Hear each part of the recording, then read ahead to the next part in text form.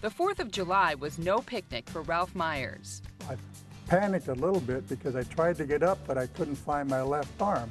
Ralph suffered a stroke in the middle of the night and managed to crawl to his cell phone to call for help. The ambulance came and then they brought me here to Mercy. Ralph did the right thing. Getting medical treatment right away is crucial to good outcomes. Some of the medications that we use and treatments that we use are time-based, meaning if you are uh, having stroke symptoms and you come in, but it's beyond four and a half hours, we aren't able to use any of those medications.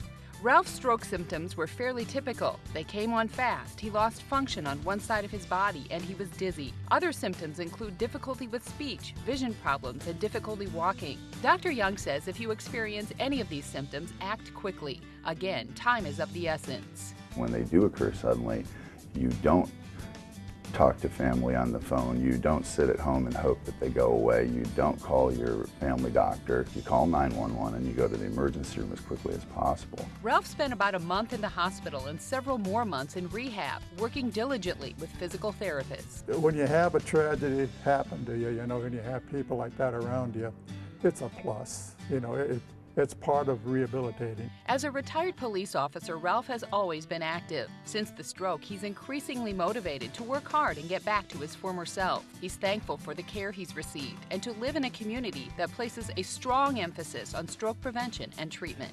If that occurs, you're in a well-trained and well-equipped community. If you look nationwide in terms of treatment with clot-breaking drugs, 3% of all patients with stroke get treated with that. Within the last year, we've bumped up to where we're around 20, 25%. People that get treated in that way do better.